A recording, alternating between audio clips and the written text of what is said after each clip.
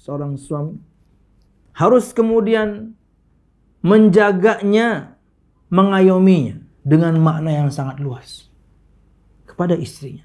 Ini hak istri yang harus ditunaikan oleh seorang suami. Menjaganya, mengayominya. Makna yang sangat luas daripada kemudian hanya mengajarkan agama. Luas, jaga istri kita. Fala yasmah lah an tufsida fi khuluqin aw din, an tafsuda fi khuluqin aw din. Maka jangan pernah para suami memperbolehkan untuknya untuk merusak akhlak dan agamanya. Enggak boleh. Anda harus tegas.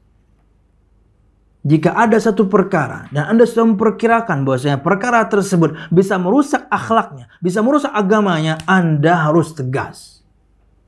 Ya. Anda harus potong jalurnya, potong jalannya.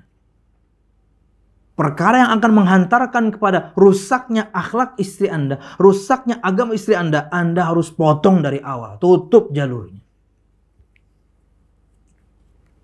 Mungkin kalau bahasan sekarang bisa yang paling dekat adalah gadget. Bukan berarti Anda nggak memberikan kepadanya gadget, enggak. Tapi ada pengawasan. Ya. Wallahu a'lam bisawab. Seharian sibuk dia. Karena lagi maraton.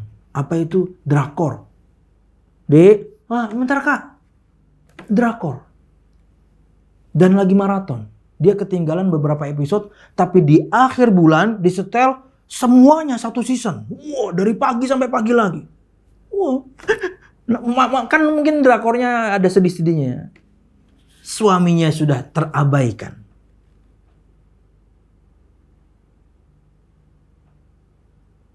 Dek, ya kak sebentar lagi kak.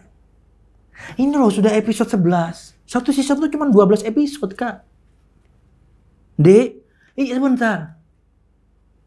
Bete suaminya pergi mancing. Di rumah nggak diurusin. Syukur kalau pulang nggak bawa istri baru.